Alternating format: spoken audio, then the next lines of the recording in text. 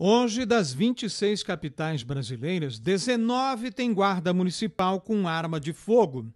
As prefeituras que já armaram suas guardas afirmam que a autorização para o porte de arma está condicionada a critérios como exame psicotécnico e curso para o porte de arma, com atividades teóricas e práticas. A renovação do porte de arma depende também de reavaliações periódicas para o guarda municipal.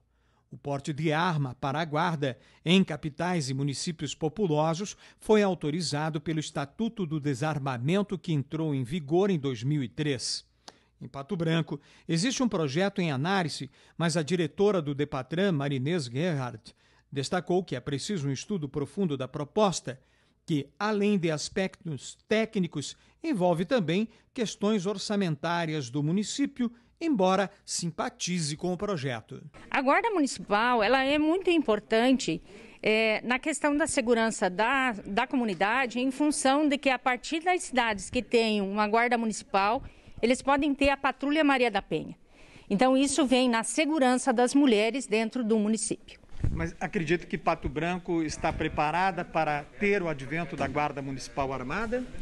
É, isso é uma discussão que precisa de mais elementos. Por exemplo, hoje nós temos uma, uma polícia muito efetiva.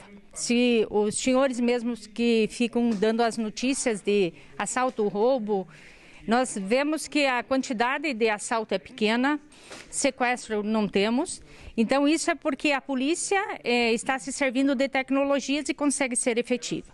Mas toda a ajuda é importante quando você fala em segurança. Mas é favorável a criação neste momento?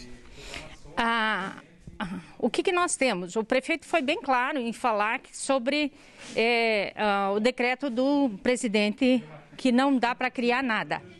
Então, dá para aprovar a lei, mas criação de alguma coisa com concurso só a partir de 1 de janeiro de 2022.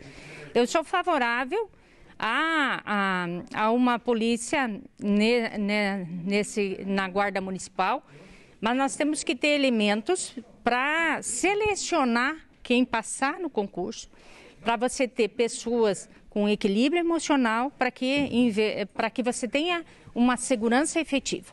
Questão orçamentária e técnica, então. Sim, o orçamento é importante porque é, você tem que levar em conta o número de, de, de, situações, mas eu sou favorável porque a partir da, da Guarda Municipal nós poderemos ter a Patrulha Maria da Penha e daí nós teremos mais segurança para as meninas e para as mulheres.